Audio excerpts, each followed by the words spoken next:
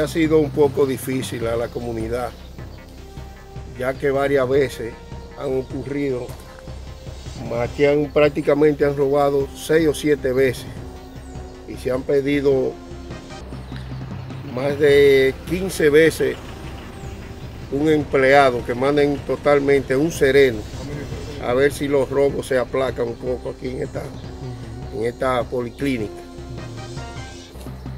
¿Y aún no tienen ustedes respuesta de la autoridad? Todavía es la hora que no han dado la respuesta. Los ladrones comenzaron, eh, se robaron cilindros de, oxígeno, se robaron abanicos, se robaron neveras, los tetoscopios de los, de los médicos, eh, estufa, un sinnúmero de cosas. Ahora las bombas ya van tres bombas Pedrolo para la distribución del agua que se roban.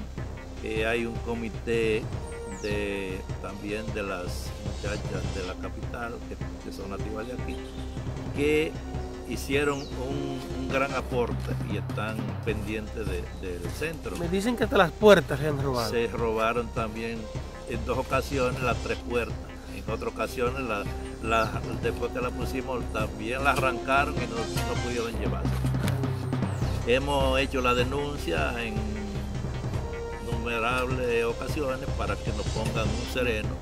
Eh, yo creo que tenemos 8 o 10 años pidiendo un sereno y las autoridades han hecho caso omiso eh, habiendo un personal grandísimo ahí, nunca han decidido decir, bueno, vamos a traer. ¿Ese personal cumple sus funciones? Bueno, parte la cumple, porque hay unos supervisores, una cosa, no sé, en la, eh, que se supervisa en la UNA. Y hay otros que son para visitar eh, y llevar algunos.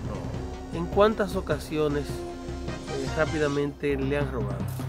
Bueno, han robado creo que es cinco o seis veces porque van tres veces bomba, dos veces puerta, se han llevado oxígeno, todo lo que te dije anterior, eso eran robos eh, eh, separados, individuales.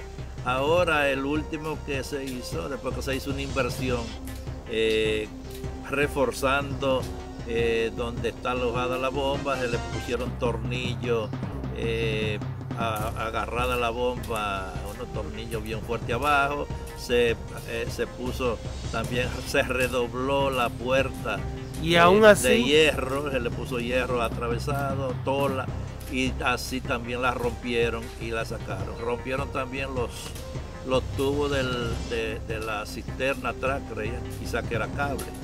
Eh, imagínate, uno está eh, atado de pies y manos, porque como uno dice, fue fulano, si uno no tiene una